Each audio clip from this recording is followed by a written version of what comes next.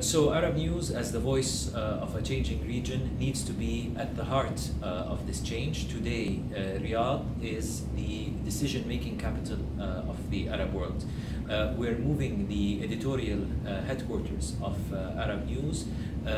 to the main headquarters of our owning group, SRMG, uh, in Al Mu'tamarat uh, district uh, in Riyadh, while um, the Jeddah operation will become regional uh, hub uh, covering the western region uh, in Saudi Arabia, and it will be managed by the newly appointed bureau chief Mohammed Al